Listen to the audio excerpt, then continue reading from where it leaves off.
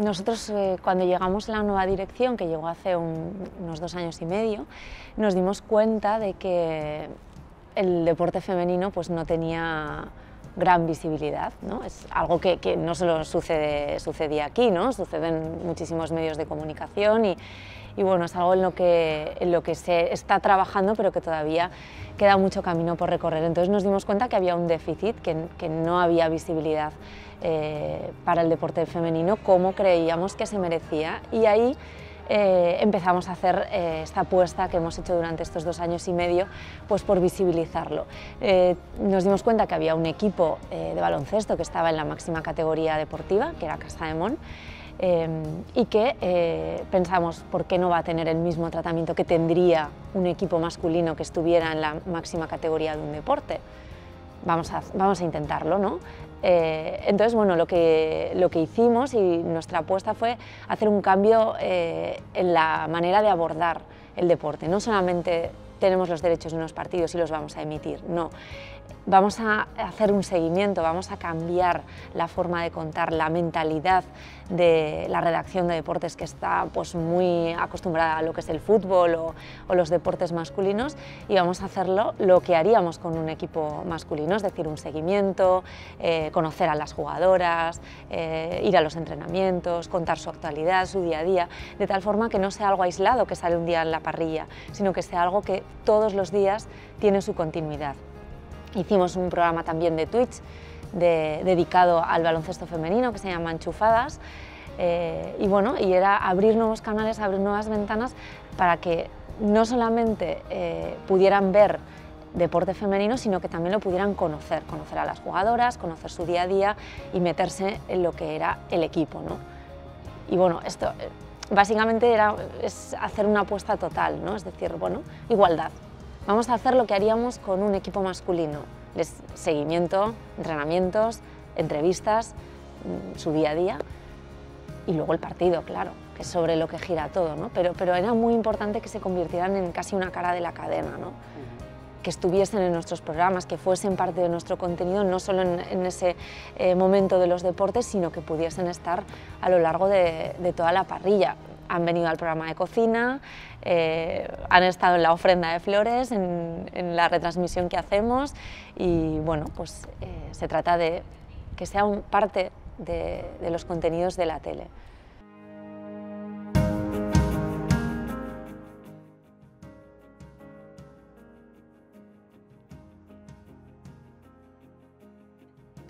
Bueno, yo creo que, que mm, que tiene mucha importancia, que tiene mucho peso, donde pones las cámaras, donde pones los micrófonos y qué es lo que enseñas. ¿no?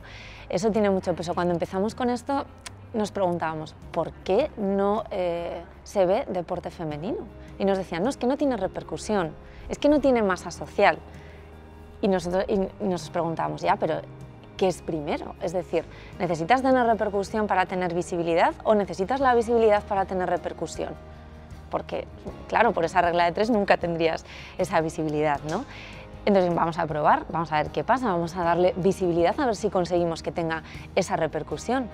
Y bueno, es lo que ha sucedido, ¿no? Al final, em, no solamente ha aumentado la audiencia de las retransmisiones de los partidos una pasada, o sea, es que se ha multiplicado por ocho sino que, además hemos conseguido un éxito social que se llene el pabellón, récord histórico de asistencia en la Copa de la Reina, que aumente la afición, que los niños vean referentes en esas jugadoras, es decir, que se borre un poco esta barrera de eh, los niños con los niños, las niñas con las niñas. No, un niño te puede decir, mm, quiero ser como Vega Jimeno, y eso ya no te chirría, ¿no?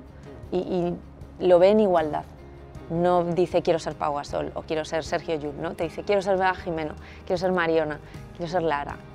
Y eso mm, tiene mucho valor porque es como una semilla que se va sembrando y que luego, bueno, esos niños seguirán, se harán mayores y ya han crecido sin esa barrera. ¿no? Entonces todo esto em, creo que, que la televisión es muy importante porque si tú no puedes ver algo, no lo puedes valorar. ¿No? Es un poco lo que comentábamos. ¿Qué es primero, la repercusión o la visibilidad? Bueno, nosotros hemos probado a tener visibilidad y hemos demostrado que eso hace que tenga repercusión. Y esto no solo vale para el deporte femenino, o sea, muchísimos deportes que no sean el fútbol no tienen esa visibilidad. Y creo que la clave está en ese equilibrio, ¿no? en esa igualdad, es decir, en darle a todos los deportes un poco de esa visibilidad para que al, para que al final no todo esté monopolizado por unos pocos. ¿no?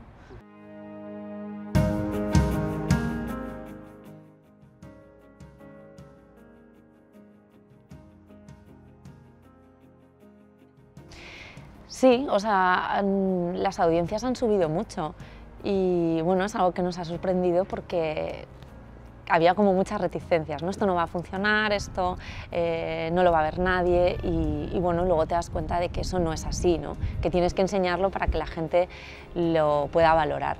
En el caso de Casa de Mon, bueno, la tele ya sabes que es eh, limitada, que tiene una parrilla de 24 horas y no tienes eh, tiempo para, para todo el rato estar dando deporte, tienes que, diversificar, pero en el caso de la plataforma digital, que nosotros tenemos Aragón Deporte, que es una plataforma digital en la que emitimos muchísimas horas de deporte y que ahí nos ofrece la posibilidad de, ver otras cosas como el, hockey, eh, pues, eh, baloncesto de otras categorías, pues ahí nos hemos dado cuenta que las audiencias también han crecido muchísimo.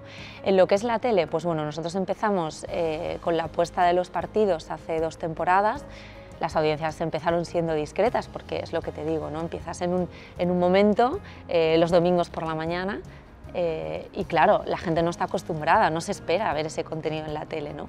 Entonces empezaron con unas audiencias discretas que, se han, que han subido ocho puntos o más al final de esta segunda temporada. ¿no? La audiencia de la Copa de la Reina eh, batió todos los récords, o sea, hizo datos de un partido de fútbol masculino, eh, de un derby, por ejemplo, que nosotros hemos, hemos emitido derbis Zaragoza, Huesca, Huesca, Zaragoza, y la final de la Copa de la Reina estuvo al nivel de, la audiencia de un derby.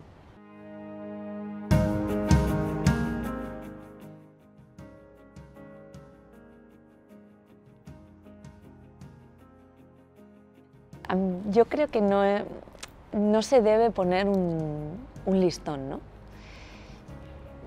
¿Es suficiente? Eh, bueno, es que hay que luchar por la igualdad. O sea, es decir, nunca no, no, vas a decir, bueno, ya es suficiente ya paro, ¿no? No, creo que, hay que trabajar por el equilibrio, ¿no? es decir, eh, hay que darle a cada deporte el tiempo que, necesita para que se le conozca, eh, hay que intentar no eh, potenciar demasiado unos deportes y dejar a otros que no se vean es, bueno, creo que más que un trabajo de decir eh, ya hemos llegado hasta aquí, ya está, es un trabajo continuo, ¿no? nunca será suficiente, pero no para el deporte femenino, sino entiendo que para hay otros muchos deportes que solo se ven cuando hay Juegos Olímpicos, por ejemplo. Y, por qué no? Si son deportistas que trabajan, que están en el máximo nivel, que dedican su vida a ello, que al final representan a un país si van con la selección, ¿por qué no tener esa visibilidad? ¿no? Entonces, ¿es suficiente? Bueno, nunca será suficiente para, para todo, ¿no? Es decir, no, no, creo que haya que poner un listón, sino que haya que trabajar por la igualdad y el equilibrio.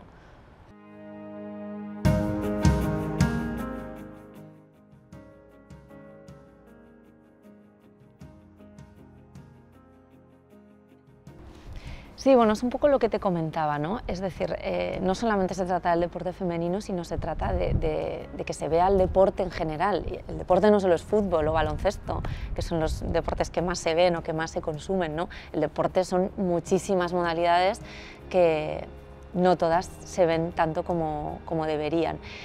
Nosotros con la plataforma digital hemos abierto a muchísimos deportes, a waterpolo, a fútbol sala, a hockey, atletismo, tenis, o sea, muchísimos deportes a los que intentamos dar esa visibilidad. Eh, es difícil porque el espacio es limitado, eh, no solo nos pasa a nosotros, también le pasa a la radio, al periódico, pero sí que creo que, hay que conseguir que, tengan esa visibilidad para que tengan esa repercusión. Es decir, es que en cuanto tú consigues que haya un deporte que de verdad enganche a la gente, es que eso se ve. No, el, deporte es pasión, el deporte es... Eh, una forma de vivir, el deporte tiene sentimientos y eso no, es fútbol o baloncesto, es deporte, ¿no? son valores y eso lo transmiten muchas modalidades. Entonces sí, nosotros intentamos diversificar, dar cabida a todos los deportes que, que se puede, eh, a todas las categorías que se pueden, no solamente a la máxima categoría, porque ver deporte base también es muy importante para que esos niños eh, vean que es posible hacerlo y que, y que, puedan tener referentes o que, bueno, animar así a que no haya un abandono del deporte en los jóvenes, que es muy común. Y creo que también es importante no solo más disciplinas, eh, sino también más categorías. Y bueno, es un trabajo que estamos en ello. Hay que romper también muchas barreras en esto porque la mentalidad siempre nos lleva a lo que se supone que siempre se emite, ¿no? Pero bueno, es un trabajo del día a día.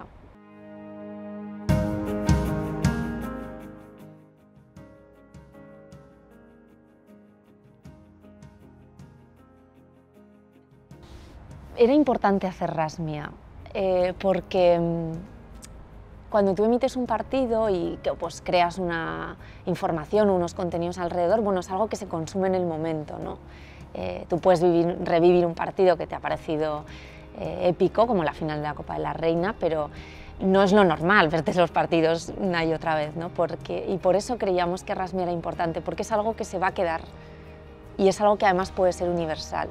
Es decir, es una historia que ha pasado aquí, es local, es con gente de aquí, pero que es un ejemplo para otros muchos equipos, otras muchas jugadoras, otras muchas mujeres que pueden ver en Rasmia como esa lucha por la igualdad tiene un fruto y que, realmente se puede conseguir. ¿no?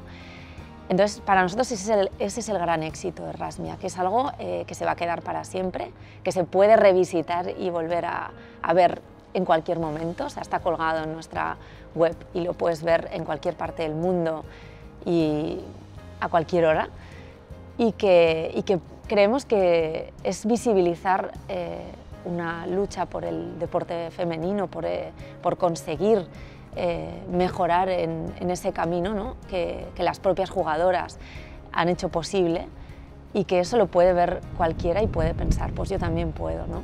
Entonces, eh, más allá de la audiencia, que, bueno, pues, se, emitió en la tele y en prime time y lo vieron miles de personas, es uno de los contenidos más visitados en nuestra página web, o sea, más descargados, que más se han visto eh, online. Se estrenó en un cine que también se llenó en el estreno. Al margen de todos, de todos esos números que son importantes, para nosotros lo importante es eh, que eso va a quedar y que eso será eterno y universal. Y bueno, un poco lo que, lo que hemos comentado antes, ¿no? Eh, si alguien me rasmia y puede engancharse a, pues quiero ser como Vega, pues creo que eso es lo más importante de todo, ¿no? Ese cambio social que se produce en la gente que ve rasmia con los ojos totalmente limpios en los que solo ven deporte, ¿no? Solo ven baloncesto, que al final es de lo que se trata. No baloncesto femenino, sino baloncesto. Es que no es distinto del masculino, es baloncesto.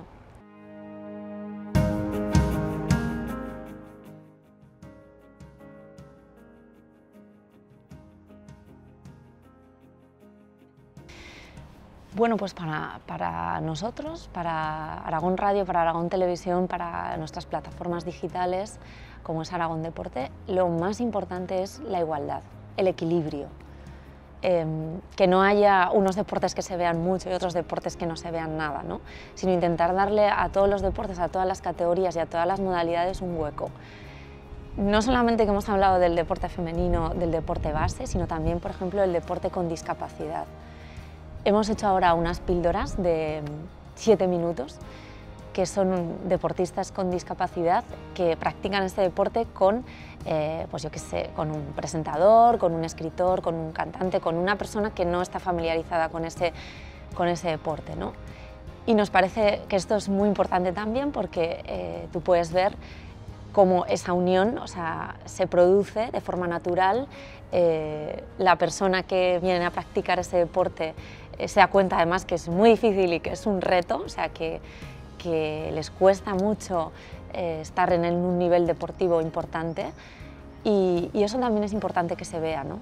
O sea, mm, no solamente el deporte femenino, que por supuesto también es, que, tiene un déficit ¿no? y sabemos que tienen que tener más visibilidad, sino también el deporte base, otros deportes que no, que no se ven como siempre, eh, y el deporte con discapacidad. ¿no? O sea, el, el objetivo siempre sería la igualdad, lo máximo posible. La igualdad total ya sabemos que es difícil, pero bueno, todo lo que se haga es un camino, una semilla que se va sembrando y que poco a poco eso al final pues da, da sus frutos. ¿no?